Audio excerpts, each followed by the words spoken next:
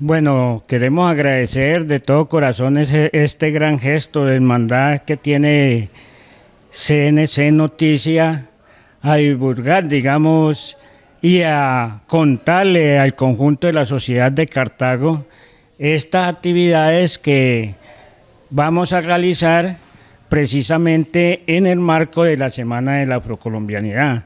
La administración municipal en cabeza de su alcalde Víctor Alfonso Álvarez y también la Secretaría de Desarrollo Social, estamos programando eh, unos actos protocolarios para el 21, esto sería a las 3 de la tarde en el auditorio de la Casa del Virrey.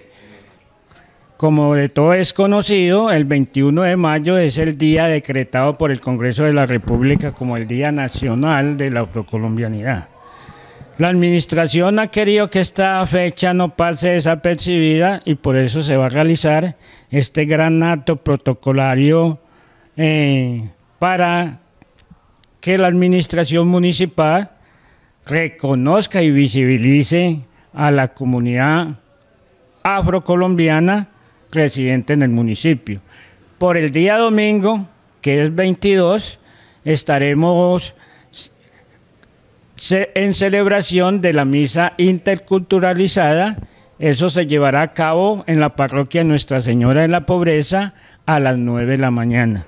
Estamos invitando cordialmente, como ya le dije, al conjunto de la sociedad colombiana para que participe con nosotros, porque la afrocolombianidad es de todo.